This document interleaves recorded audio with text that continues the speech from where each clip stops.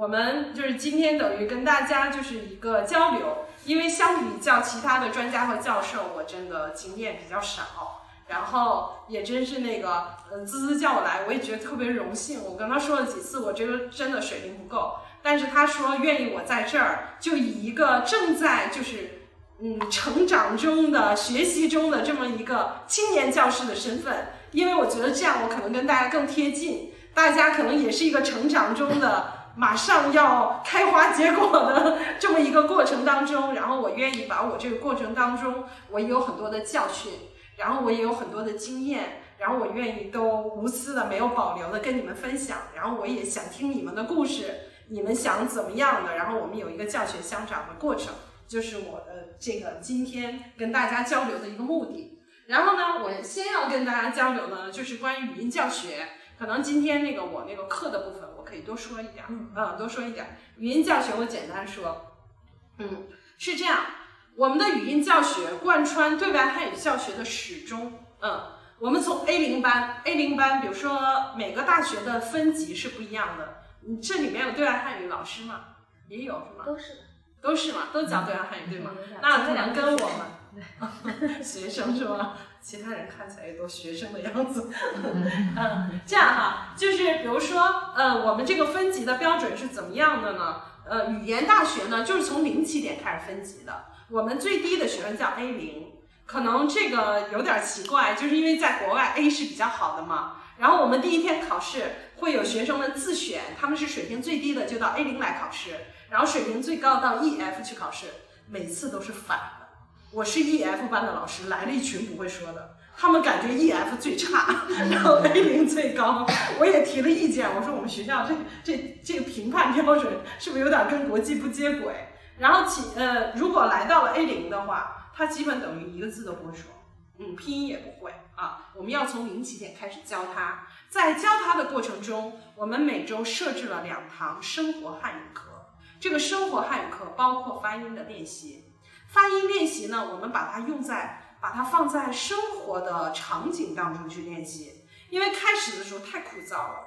我们有一个挺好的研究生，他对这个东西很感兴趣，他带着那个学生们做游戏。你们知道做什么游戏？我在窗户这儿听，老狼老狼几点了？我都有点忘了这东西怎么玩了。我跟你说，就在窗户这儿带着十个英国人，老狼老狼几点了？几点了？一个多小时。我院长受不了了，说你出去看看他 在那干嘛呢？然后我们问他干嘛，他说教语音，教语音，因为就是问几点了，可能学生们说两点了、三点了、四点了，用这个数字的方法来练习。但是这种游戏的方法我们也很认同。我不知道你们有没有在国外教汉语的，因为有一年我教了一个澳大利亚的那个中小学老师的团，然后差不多所有的老师好像都是北京人啊，然后。我讲了一些语音的理论和我的教学方法，包括那个像那个这几天大家听的理论，然后听了一个小时之后，他们说：“哎呀，你是年轻人，不要给我们讲这些了。你有没有一点就是做游戏的方法？就是因为我们都在教五六岁的孩子，你说的这个，我能跟五六岁的孩子说，来，我们先看一下声母和韵母，这根本就没人听。然后我我听了这件事之后，我也挺受触动的。”我就觉得我们的教学应该是符合听者的需要，听者的需要。比如说我这个语音教学，给澳大利亚的老师团讲过，给新西兰的老师团讲过，也给香港的教育大学的学生们讲过。然后开始的时候我就觉得，哎呀，就都用一套方法嘛，因为这是传统的方法。讲了以后发现啊，每一个群体的需求不一样。香港教育大学的同学们，他们想。教在香港不会说普通话的人，所以我需要给他讲粤语和普通话的区别啊！我还找了一个广东话的老师区别了一下。然后呢，澳大利亚的老师们他们需要什么？需要这个五六岁的小孩子如何在游戏和一个非常开心的环境下把这个发音练习好，把语言学会。每个人的要求都不一样。如果你们在大学里上课，我认为这是一个最简单的环境。因为来的人有各个国家的，嗯，你没办法用统一的标准，所以你可能用一套程式化的方法，然后了解每个国家的国别的发音特点，然后包括他们那个自己国家的语言的偏误，然后跟他们交流，给他们纠正，可能就达到了一个效果，达到了一个理想的效果。有很多人呢觉得，有很多老师的方法是，就是说他觉得，嗯，我们传统的这种演练的方法，也就是说我一直读，学生一直在跟我读，就是我读了这个啊是这样的，然后学生模仿。那你们觉得会不会有这个问题？因为我教过很多中国学生哈，他们是以后要在电视台当播音员的，那他们都是中国人，啊的方法已经都知道了。我说一个啊发一个这个音，他只知道长短。他他也不知道这开口应该大应该小啊！如果我们只是单纯模仿的话，学生是听不懂的。他为什么读不出来？很大的原因是没听出来错误。比如说，有的时候我给他们做一个，就是开始语音教学之前，我给他们做一个测试，我让他们到黑板上听写，他们很少听写拼音。所有的时候，他们来到学校里都在听写汉字，对不对？他们在通过拼音学汉字。但是我让他们听写拼音，就可以非常明显的看出来他们的发音有什么问题。只要是我说完，他听了以后写不出来的，就是他发不出来。耳朵和这个输出是一回事儿，他听不出来鸡七夕有什么区别。我说晴天，他说晴天，那这种学生就是音音不分的，对不对？我说那里，他写个那里，那就是呢了不分的。然后你让韩国学生在前面写，我说你写洗澡，肯定写洗澡，肯定是这样写，早上早上。所以呢，他只要用这个没有汉字的拼音写出来的错误，你就可以先用这种方法来检测他的错误，你能很容易的知道每个学生是声母有问题、韵母有问题还是声调有问题。嗯嗯，咱们以前也都学过拼音，你们现在还记得吗？就是声母、韵母和声调，这是一个音节，对不对？这是一个音节组成一个音节。那我问你们，哪个部分最影响表达意思？就说我声母错了，影响表达意思，韵母还声调？你们觉得哪个部分最重要？就说我什么地方说错了？比如说我把波说成破了，嗯，哪哪个影响？哪个是最重要的在这个音节当中？声母，声母啊，声母是外国人学习的重点。为什么这么说？声母影响表意啊，声母影响表意。就我现在写出来，这是全部的声母，你们还记得吗？学拼音的时候还记得有多少个拼音吗？我上次给给哪个那个培训呢？然后我说我说那个咱们就是一从声母开始。下面一同学问我，然后什么是声母？我说你上过小学吗？来这培训的话。你看啊，是这样，嗯，我们这个声母呢，我们活动范围太大，我们这个声母呢是这样的，它是呃除了这个以外啊，这是一个算是舌根音，我们不太讲究。声母我讲的时候哈，我讲的时候都是按照这个分组来讲的啊，这个分组来讲。我为什么按照分组讲？我我沿袭了以前我给中国人教课的方式。我自己在那个传媒大学学播音的时候，我每天都要练声。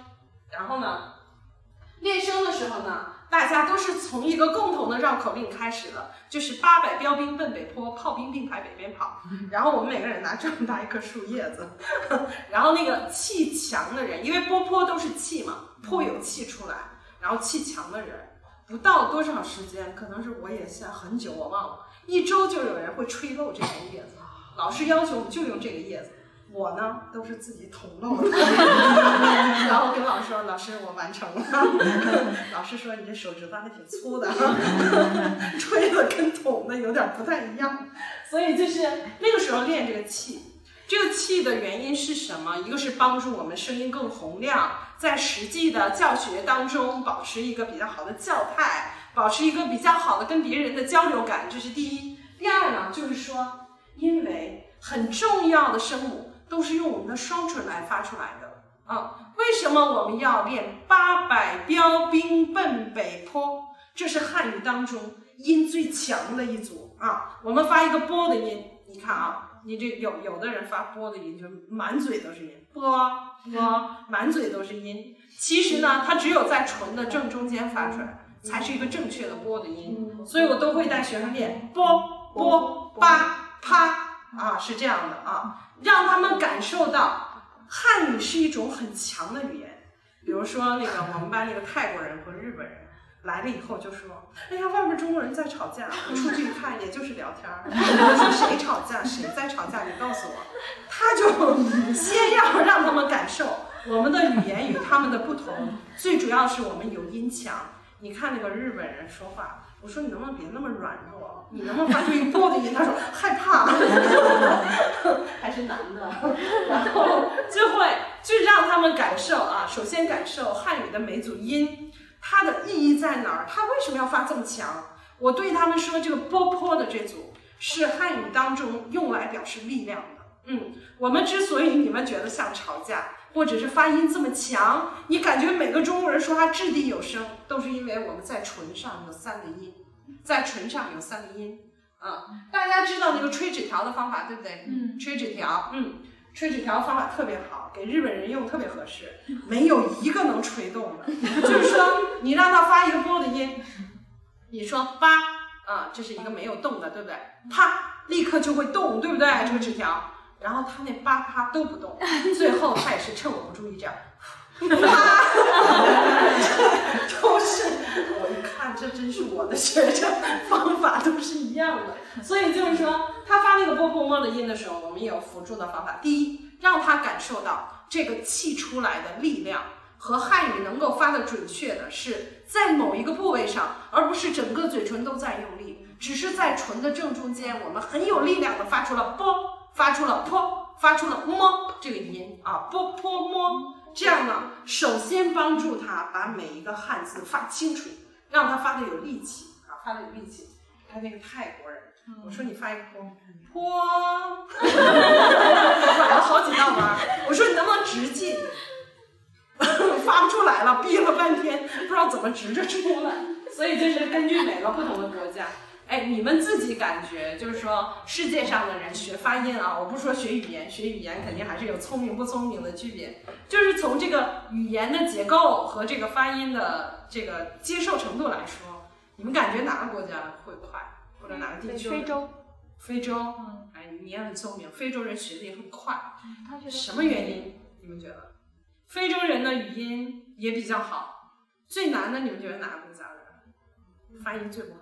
学很久，改善起来很难。你们自己也有这些经验吧？印度，印度嘛，我还真的挺少教的。原来我一个印度学生一下课就跳舞，所以我没问过他。一下课就开始跳舞，我也没问过他的发音。日本和韩国，跟我们的语言有点接近的，嗯，跟汉语有点接近，然后自己本身又音特别少的国家，学起发音来特别难。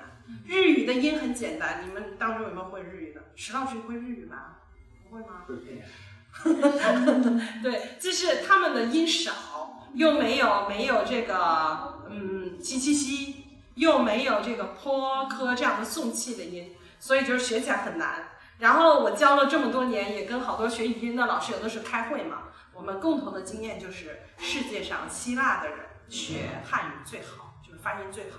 就是因为希腊的语当中的所有的音跟汉语都接近，嗯，我们有的滋滋滋他们也有，我们所有的音他们都有，所以他听到我们说这个音，他就能找到对应的。然后这个同学说的也很对，就是关于非洲的，因为每一个非洲人平均会七八种语言，他们有自己民族的语言，还有什么样的，然后所以呢，他们接受这个语言呢，他们听过的多，所以学习起来也快啊。还真不一定是说汉字书写的好，语音就会说得好。我在课上有一个很好的方法，我也我也在学校一直推荐给其他老师，就是当我们这个班里有很多欧美人，还有日韩的人的时候，我们很难用同样的进度来学习。就是日本和韩国的人写特别好，但说不出来；欧美的人不管对错一直在说，然后让写汉字一个都不会。然后那个我这样教的时候吧，他们互相不满意。啊，老师，他他写完了，我没写完。后来我一直用一个方法，就是每天我让欧美人在前面听写，日本人给他读，日本人给他读，欧美人听写，让他们互相埋怨。欧美人说他读的什么我没听懂，没有这个汉字。我说你看看，连他都听不懂，所以我用他们。了这种互相协作的方式激励他们啊。欧美人也感觉到了日本人发音的问题。后来我们班就什么情况？欧美人教日本人发音，日本人教欧美人写汉字，我闲置了，互帮互学小组。所以就是发挥每个学生的特长啊，每个学生的特长，让他们有机的结合在一起啊，有一个方法。那我们看这个 for 是很简单的，哪个国家能发不出来 for？日本、韩国，日本人就是什么都发不出来，韩国人也发不出来。这个 for 的音呢？就是说，有的时候我们告诉他发音部位真的很重要。你跟他说 f f f f，然后他的 p p p p，你说一百遍，真的真的累死，他也学不出来。但是你只要告诉他说，让我看一下你的牙齿在哪里，因为 f 发 f 的音的时候，我的牙齿一定要跟我的下唇有触碰。嗯，这个时候他就会突然明白，然后给你发一个 非常夸张，但是这样的对他有帮助。他就开始有了这个语音是有部位的这样一个概念，然后我有的时候看他们要发发，马上要出，马上就要自己要读啪了，然后唇马上发，马上把牙齿露出来啊。这个有的时候上课，我的语音课就每个人准备一个镜子，我给他们买一个镜子，就是看着自己，尤其是后来发的那个叽叽西啊、吱吱吱的时候，我都要求他看着自己看着舌头。后来女生就化妆了，化上了，所以就是说，让那个我自己学那个发音的时候，我们也准备镜子，准备一个特别大，然后那个旁边还有个放大，看自己那个舌头的位置，舌头的位置，这样来学习。就是说，告诉学生发音部位，这这是一个很重要的问题。然后很难的呢，就是汉语的 z c s 和 d t n l 是发在一个位置上的。你们感觉一下啊，都是舌尖前音啊，也就是说，我们是一个用舌头比较这个频繁的发音的这么一个结构，而且舌尖前是我们一个重要的啊。那么 z c s d t n l d t 跟波波的发音纠正方法是一样的，有送气和不送气，对不对？的和 t，这个时候呢，一般我也会告诉学生，你发的特的时候，你的舌头会碰到你的上牙。对不对？有的学生没碰到，就这样咯咯，你也不知道他那舌头在哪，可能有的人就是短，不能歧视，所以就是的特啊，你要告诉他碰到这个牙齿，有的时候他就发的太太靠后，他会发的特大踏，你也不知道是怎么什么原因，你告诉他，请你的舌头碰到牙齿，他一次性就能发对的特，他会找到他的牙齿啊。然后这个呢了的发音呢，呢了发音也是我们国家方言的一个问题吧？对。以前那个我读书的时候，我跟着我的那个老师，我的老师是以前是一个播音员，挺老的了。然后跟他到各地去做普通话测试，做普通话测试的时候，因为太那个太多地方了，然后我们就为每一个地方的人专门准备了一套题，针对这个地方的。然后我自己是东北人啊，其实我平常说话东北味儿也特别重。跟他们一起说的时候，完全东北话。然后到东北的时候，东北人的发音有什么特点？那个语调下下落嘛，是不是下降？一到尾音儿就没了，掉了掉了啊，没有了。所以我们准备了一套题，这套题呢是帮助他们练习那个发音一声的，叫做“白云飞，白云飘，白云飞过九重霄”，最后一个音都是医生，对不对？你看着吧。到了那个东北以后，发给他们，他们拿过来读：白云飞，白云飘，白云飞过九重霄。然后自己说：“老师，我这标准吗？” 感觉非常标准，就是说他自己感觉不到，就声调的问题再往下调，对不对？然后就再往北一点，又到了沈阳，我又把这白云飞拿出来。老师说这个对他们没有用，我们换，然后换成一个日头热晒人肉啊，这个句子。然后你看进来的。一头叶赛银柚，就没有一个字儿是对的。然后当时我们去湖南呢，南方的时候，我们就呢了，到福建都是呢了啊呢了呢了呢。开始的时候你就让他念什么刘娘连连念牛郎，就是没有那么难，就让他们说男蓝女蓝，嗯，那就够他们说一阵儿蓝男，就自己掰不明白了这种。所以就是这个呢呢。大家可以感受到啊，比如说给给中国人纠正发音的时候一样，我们都用一个找发音部位的方法。比如说发呢的这个音的时候，现在你们掐住你们的鼻子，鼻子，是真鼻子是吧？音坏了。好的啊，就是擦住鼻子的话哈，我们发一个呢的音，呢的音，你感觉到震动吧？呢怎么 怎么那么小声？呢呢，你感觉到鼻子是有震动的，这儿是有震动的，因为这是一个鼻音。但是你发了的时候，了的时候，你把手放在这个嘴角两边，因为了是一个边音，对不对？边音的时候，它是从两边震动。你发一个了了了，你再捏你的鼻子有吗？了了了，你的鼻子上完全没有音，对不对？没有音，这是呢呢最大的区别。我的学生分不清呢了的时候，我让他我说只要你有两只手，你现在就拿出来，一个捏着鼻子，一个捏着嘴。他发呢的时候，这儿是没有震动的；他发了的时候，这儿是没有震动的，一次性就能分清楚，非常清楚。所以那个发音部位是很重要的，否则你跟他说难难难难难难，他还给你读相反的啊，是这样的。然后呢，一个很难的就是滋滋滋和支诗诗日，有的时候我就让他们说绕口令嘛，那个四是四，十是十啊，哎呀，全部给你说乱，最后听不清楚是四啊还是十啊这样的。那么这个滋滋滋和支诗诗，我们知道这是一个平翘舌的一个区别，就是最最简单的方法就是滋嘶嘶是一个平的，支诗诗是一个翘的啊。然后呢，好多学生发出来日，今天上课的时候，我们班的同学发出来日。他找不到日的位置，我如果单独跟他说日，他也没法打开我的口到里面去看到底舌头在哪。所以我跟他说，我说现在你跟我一起读支吃诗日，他们为什么都放在一个舌尖硬腭前，都是一个舌尖后音，证明它的发音位置是一样的，只有震动和不震动的区别。所以找不到日的学生，我们就从支开始发，说把你的舌头卷起来，发一个支吃诗日，只要震动一下，就还在这个位置上，就能把日发出来，这是最便捷的方法啊！好多人找不到日，我每天都要接那个好多微信。以前学生说，老师，我学生又找不着日了。我说慢慢找，怎么办？找不到日了啊！用支吃诗的方法。用跟它同样的音，嗯，包括这个滋和支，为什么让他们说四是四十是十这样？哎，我这 PPT 可以给他们，他们就所以不用记笔记。然后那个那个就是那边没什么好保留的，就这点东西。然后那个说这个滋滋滋和吱吱吱的时候哈，它是我们是滋和吱一起练，呲和吃一起练。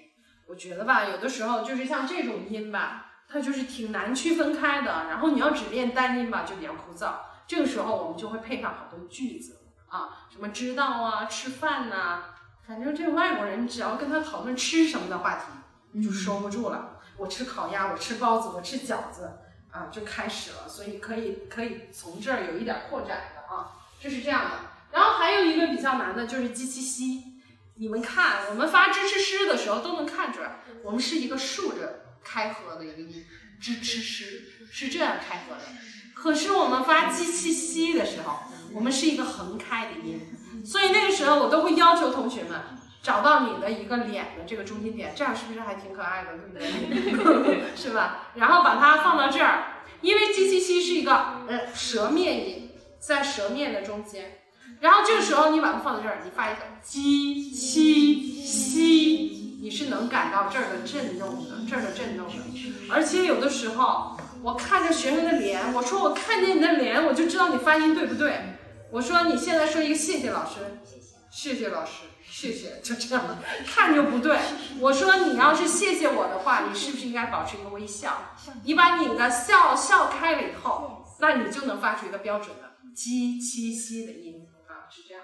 嗯，有的时候我们也通过这个面部表情的方法。面部表情的方法来引导学生，用一种用一种他比较能接受的简单的呀啊这样的一种方法，嗯，咯咯呵没什么问题啊，咯咯呵就是谨防那个法国人读咯咯呵好像马上吐出来一样，就是我说你不要那么靠后，这不是法语啊，发一个咯咯呵的音啊，是这样的。所以呢，我们再把这个这只是我举的一个例子啊，实际上真正。我们读音节的时候还会有问题，对不对？比如说那个遮呀、呃的音，他们又发不出来。呃的音是我认为全世界难题。这个央呃、央呃，你们知道那个舌位图吧？就是处在中间那个央呃，因为那个呃呢，只要轻轻弹一点舌头就行。但是外国人大部分太卷，他们都发成儿儿车车，都是这样的。你也不知道他那儿化从哪儿来的，他读一个车，然后你说来，你跟跟我说一个儿化花，然后说花儿。你真正让他读儿的时候，他读不出来；你让他读车的时候，他一直在儿化，所以你也搞不清他是怎么回事儿啊。这是有一个，这是一个发音部位图，我觉得大家可以这样子。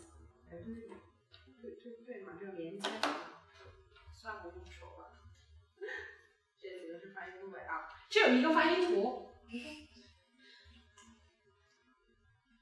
好，这有一个发音图哈，这个发音图是一个纵纵剖面儿，纵剖面儿的啊，等于说是从这儿开始一直到向后。这个发音图我一直给学生讲，就有的老师觉得这图好难呢，说怎么跟学生用语图来讲东西？但我觉得不是，这很直观，这很直观，就是我希望学生知道前后的关系。从最开始的时候，这是波波摸，然后这是佛，然后嘚嘚嘚嘚滋滋滋，你看在同一个舌尖上，然后舌尖靠后的时候是吱吱吱吱，然后叽叽叽又在它的后面，就帮助学生建立一个声母的发音是一个从前到后的过程，他会找到这个位置。如果他找不到一个七的位置，他可以通过吱吱吱慢慢的向后找，是这样，一直找到最后，是这样。这个语图还挺好用的，嗯。呃，还有一个问题呢，就这个声调，嗯，声调是一个大问题。声调呢，集中在什么呢？其实呢，主要集中在两个问题上。第一就是二三，二三，二三分不清，就是特别是欧美人，欧美人是很难分清楚第三声是怎么回事儿的。嗯，然后这是一个部分，还有呢就是声调搭配的问题，搭配的问题。我自己在没学语音学之前吧。我自己也有那样的误区，说当我教一个学生声调的时候，我教会的一二三四声，他就能读出一二三四声。其实远不是这么回事儿。我那个博士论文的时候，我做的是语流当中的声调；硕士论文，硕士论文的时候，我做的是语流当中的声调音变。当时呢，我就是第一次做这样的研究，用语音实验的方法啊，我就发现了所有的声调在语流当中都有音变，它都变化了啊。所以呢，你你需要的不是说把单个的一个声调告诉他，你告诉他，他也永远掌握不了。我们说话的时候也不会在每一个音都说特饱满，我们是有搭配的，有长短的，对不对？有轻重，有长短，有起伏，这是我们汉语的特点。所以呢，我一般呢教这个的时候，我都是两两两两搭配。我先给他这个语图，嗯，大家都会看这个语度标记吧，告诉他。汉语不是只有啊一个音的，对不对？我们有啊啊啊啊啊，有五个声音，有五度，有五度。我们最低的音和最高的音之间是有一定的距离的。也就是说，你为什么听起来中国人，有的人说的难听点，说老师外面中国人吵架；还有的人说老师他唱歌，我说他说话了，他没唱。所以还有的人就觉得你这个起伏这么大，好像唱歌一样。那么旋律感。有旋律感是我们汉语的一个特点，包括有声调。以前我觉得，你看那个泰国有九个声调，对吧？嗯，泰语有九个声调，其中有那种挺短的，有点像广东话的那种。我还以为泰国人有九个声调，学起汉语来肯定很容易啊。我们才四个，后来发现，我天呐，比没有声调还难。他那九呢，跟我们都不对应，所以你跟他说起来，我们这四个更难，找不到，找不到，找不到位置。那其实呢？其中呢，特别要注意的还真不是三，三呢通过练习很快能学会，嗯，很快能学会，因为它有升降感，挺明显的。最难的是什么？二，二有一个什么特点？它是从三到五，还有一个最重要的特点是它比较长啊。所有的留学生都不能体会到我们汉语当中的长短关系，这是一个很重要的。我那个。我跟大家讲，我我那个因为还挺挺喜欢这个的，我做过一些那个简单的研究。我那个博士论文的时候，我做了一个很有意思的研究，可能其他的也没做出什么结果，这个挺有结果的，就是吧我和另外一个老师，我们两个都觉得有一个很有意思的现象，就是说，嗯，我让一个学生读一段课文，然后让一个中国人读一段，他也两分钟说完了，这外国人也两分钟说完了，他听起来就标准，他听起来就不对。然后我们一开始排除了这个声母韵母的问题，然后后来就是找声母韵母都说的很好的，可能那个声调也可以，就是一个正常的水平很高的外国人，说起来还还有问题。后来我们通过语音实验，因为语音实验可以切字的嘛，没有学语音学的嘛，不可能有人学这么枯燥。就是说，我们切了字，把音节切开了，切开了以后，发现一个很很有意思的问题。就是一个外国人说单字的时候，跟中国人长度是一样的，都是三百七十多毫秒，是一样的。但是连成句子的时候就千差万别，因为我们的我们的单字是什么样的？我们说这个字这么长，下一个字这么短，我们两个字中间还有停顿，我们一个词当中还有停顿，他们没有有效的停顿方法，他们所有的里面都是非正常停顿。以前我给学生们看我的语音实验结果哈，我有一个正常的语图，我说了一句话，然后上面是一个声调的一个共振风的波浪，然后呢，我请这个外国学生做实验的时候，他做，哎呦，我是一个连贯的一条线，他全是点儿点，所有的都是点儿点。我说你看出来了吗？你没有连在一起的东西，他不知道任何两个音节、两个词那个高低是怎么样的，它是一圈横着的点儿，就是全部分散开的。他看了以后，哇，很直观的感受到，啊，老师说话是那样的。回去以后说，我说的话好像星星，老师是一条河。我觉得，我觉得还说的挺优美的啊。我说你什么呀？你什么星星？自己觉得挺美的。它全是点，全是点呢。这里面就有一个问题说，所以呢，我们就改变了我们的语音教学方法。以前我们就是单字教，说来，现在发第一声。八啪妈发一直读，然后来学第二声麻爬发什么什么的，这样的是不太合理。起码从最近十年的语音研究来说，这是不合理的。我们要在语流当中教学生音调，也就是说，嗯，大家发现汉语有一个特点，我们的词大部分是双音节的，对不对？双音节的。如果你打开你的汉语书的话，你看那个生词全是双音节的，所以我们就打算从双音节开始教。因为两个音搭配起来也特别难，你你比如说用“妈”这个词来说的时候，哈，它一共就有十六种搭配，除了轻声以外，对不对？妈妈妈妈四声，然后四声四声搭配，这是一个数学问题啊，排列组合问题。上次我说咱们四声搭配以后有多少个？那下面一个嗯，印尼人想半天。六十四个老师，我说你这数学有问题，不是汉语有问题，所以这十六个，十六个呢，我们从一声调开始会有妈妈，对不对？这个妈妈的时候要让他感受，当我们说两个音频，这是音频第一声词的时候，明显感觉到第二个高，对不对？它不是平的，对不对？比如说我说播音，播音啊，我是学播音的。播音我不能，我如果说成平的，就是东北话。播音，播音就是平的，就是东北话。其实我第二个音又高又长又是重音，我是学播音的，播音的，它自动就提高了，提高了。所以放到了机器里面，我们任何一个两个第一声的词都是四四五五，不是五五五五的。我们正常是五五，对不对？嗯，五度的五五都是四四五五的。所以这就发生了一个很大的变化，就是说，当两个汉字或者两个声音搭配的时候，它们互相之间的值发生了变化。所以你要了解到这些变化，你要告诉学生，第二个音你应该发的比第一个音高，还有第二个音应该更长更重，这个音才能让别人听清楚，才是对的。那么同理，如果我发两个二二的话，一样，你看啊，二二。二二有什么词呀？一下想不起来了。两个二声的词，你们谁的名字是两个二声的？学习。你的名字啊，你不是叫文华吗？对吗？可以这么叫吗？有点太亲切了，从来没这么叫过。好，比如说那个石石老师的石老师的名字是文华，对不对？什么？人民教育的人民啊，人民对，人民文华 都一样，所以这个文华哈，你看文华一样。如果文华文华这个文是三五，对不对？如果这个华也是三五，你也你也会发成文花文花，两个三五你肯定发成文花。嗯嗯所以第二个音也是更高更长的文华文华。为什么起名字的时候中国人很习惯就是第二声？他的名字还挺好的。你看我的名字叫王艳吧，这是一个四声。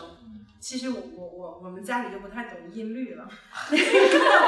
如果应该用音律起名字的话，最后的字都应该是开口呼和上扬调。嗯这样，你比如说他在很远的地方，我说文华文华，越叫声音越大，对吧？你看叫我的名字，王艳艳艳艳，越来声音越小，就是叫不出来，叫不出来。这是有一个音律的作用的啊，音律的作用。所以这个三五三五的第二也是高。然后呢，还有一个就是四四啊，四四是这样的，谁是四四的？四四的照片是不是？你看很明显，你这片多低。你要是照片，照片，嗯，不可以。照片，你要告诉学生，他们两个是第一个在这儿，第二要下降啊，他马上就明白了，他就会发出很标准的音。照片，第二是又下降又长，然后就放在一起，是这样的。所以呢，呃，这一段这个关于调位和声调呢，就是说大家要在语流当中教，从双音节开始教。然后双音节最主要的不是单个的声调，而是它们互相之间的配合关系，这非常重要。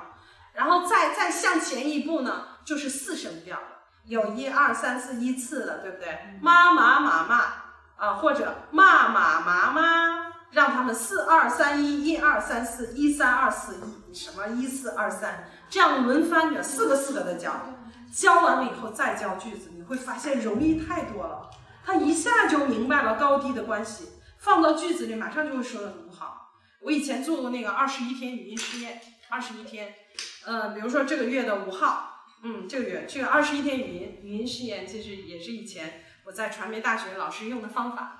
我们那个传媒大学有二十天的呃播音主持的培训班，以前我经常跟我的同学说，骗人，二十天 骗钱，觉得那个二十天太短了。后来我们自己去培训了，那时候要考那个普通话证书去培训了，发现哇，真是二十天完全改变的语音面貌啊！所以呢，我把这种方法用在学生身上，它是一个二十一天的跟进实验。跟进实验，第一天的时候，他要到那个机器上打一个分，基本上我会选七十多分的人，嗯，他就是读这个音错的话，那个滋那儿也有那种软件嘛，读错了就会打叉的那样的哈。我们那也很简单，其实应该用更深入的哈，没还可能还没有，等着你发明。也有那种呃有那种播音的那种比较，对，好像就就中科院有，我去过他们心理所，还要在头上戴这个东西，然后才能测。我们学生也不去，怀疑我们窃取他大脑记忆。说老师，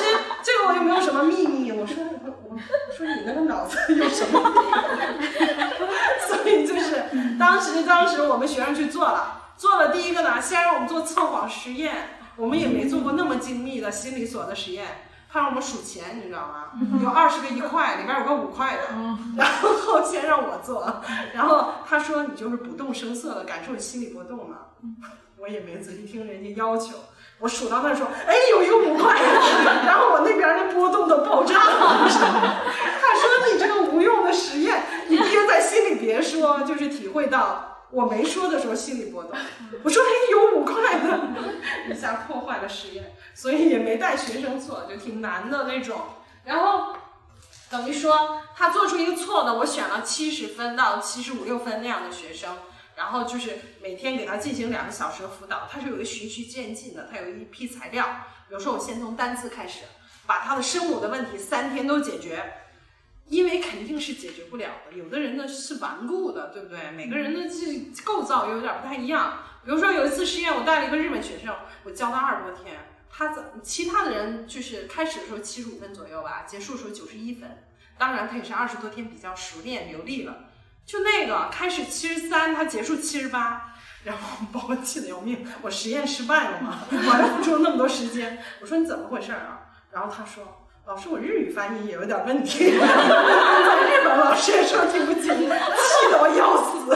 然后我就把那个那个下回的那个条款写上，要求母语是标准的人，请测试，请先测试，不能给我一个什么自己母语也说不清的人。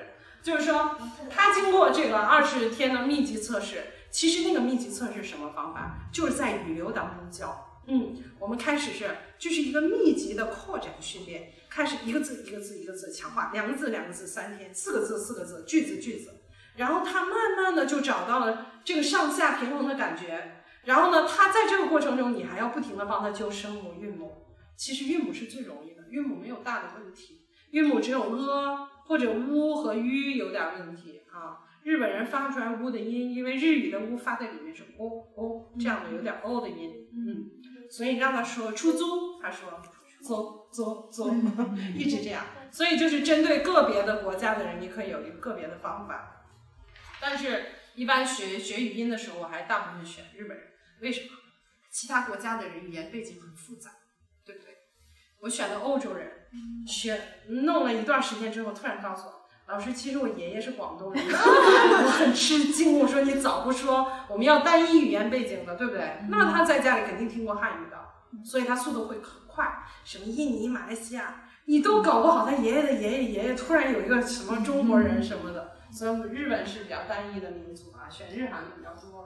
嗯，大家如果想以后，比如说教声调呀，教一些学生，想要教的有成果，然后一段时间内有能形成一个体系的话，当然选语言的背景比较单一一点的。其实那些欧洲人语言背景很复杂，每一个说英语的、说德语的人，父母有可能是说瑞典语、西班牙语，都对他的语言面貌有影响，这是很很复杂的啊。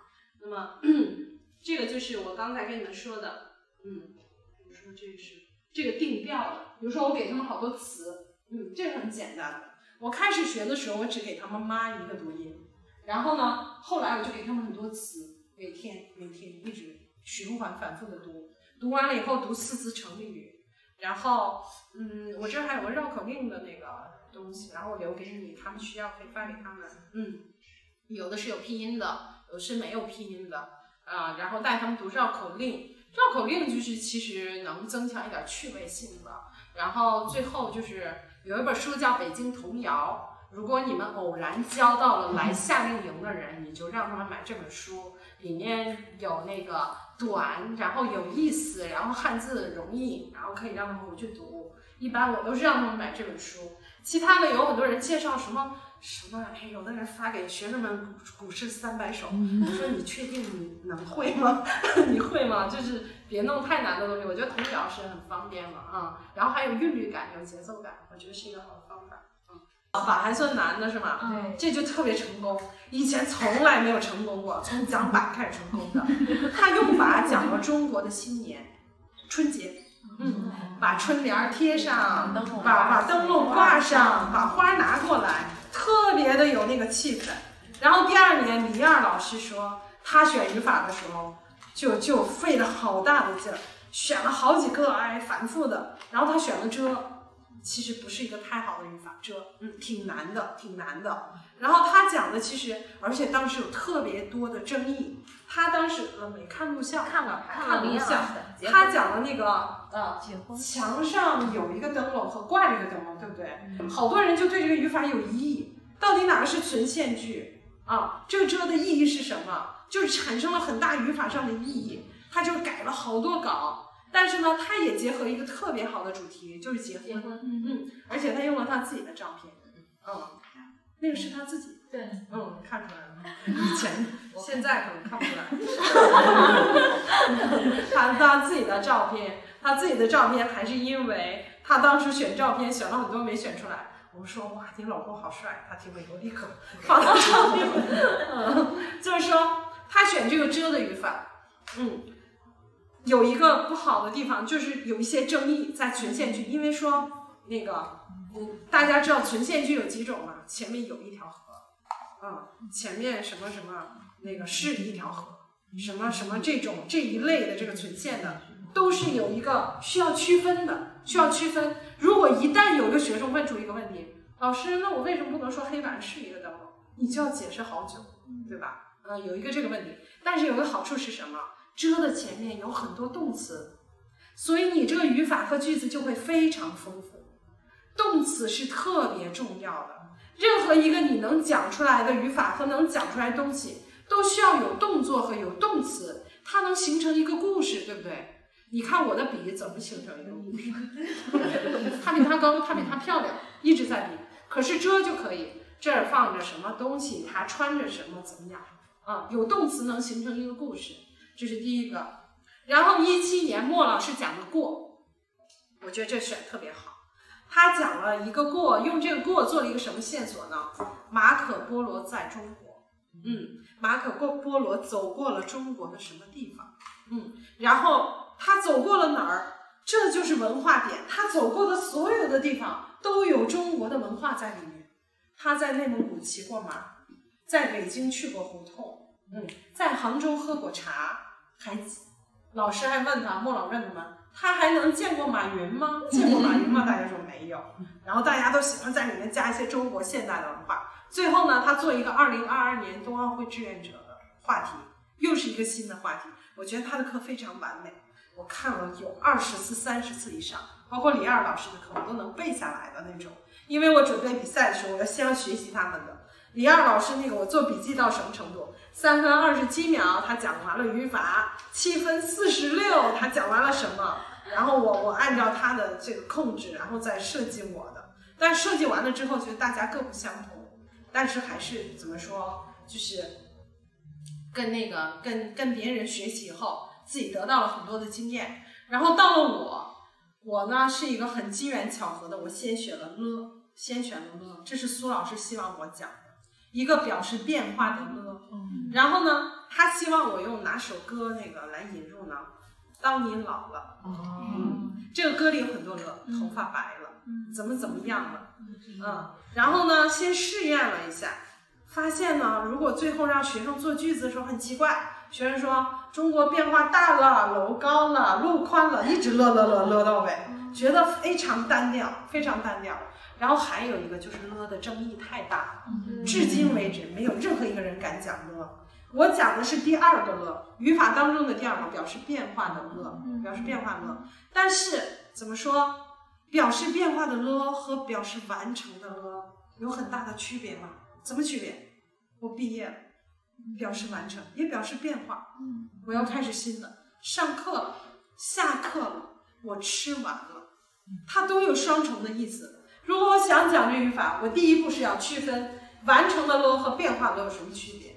我问了我的导师，我的导师是崔希亮老师，嗯，他是我博士后的导师。然后我问了他，那个我说崔老师怎么区分？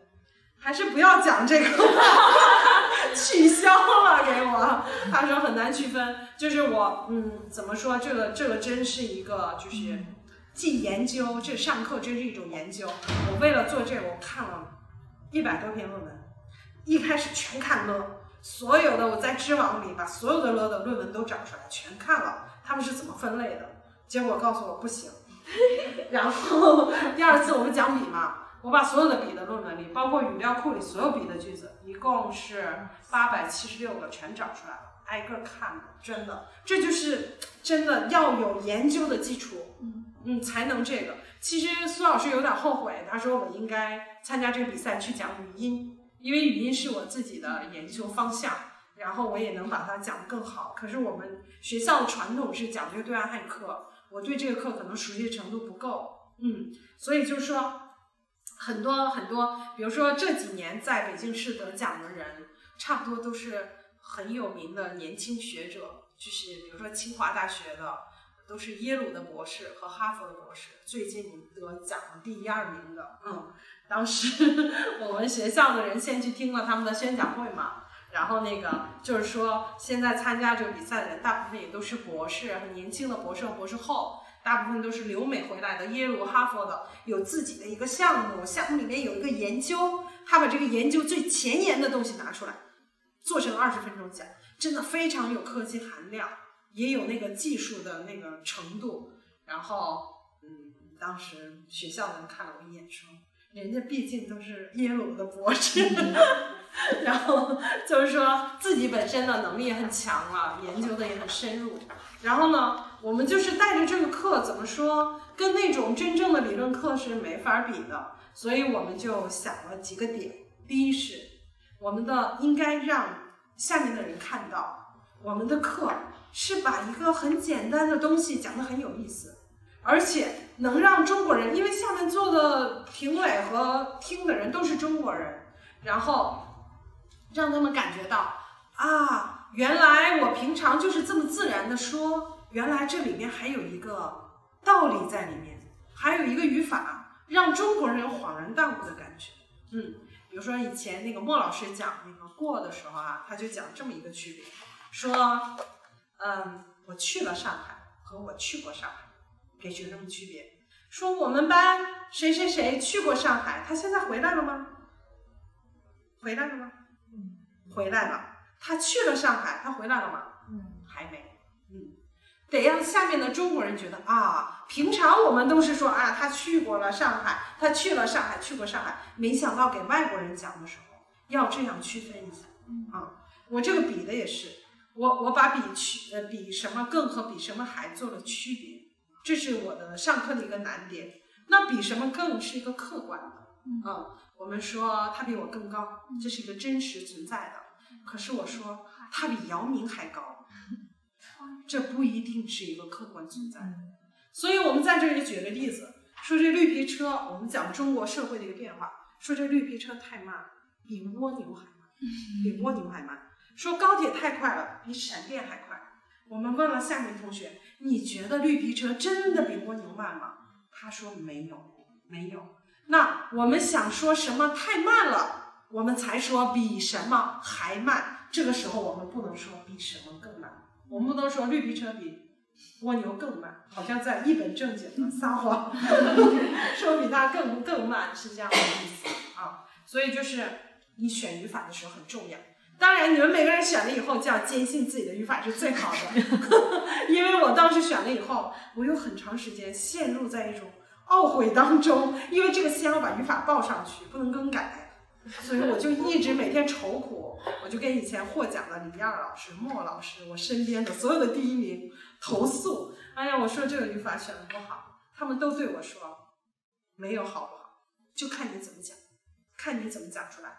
结果真的，当时在很困难的时候，我觉得我绝对不能把它讲出什么特别的东西来，但是最后还是很好的呈现了。也就是说，一定有方法帮助你，嗯，你的思路。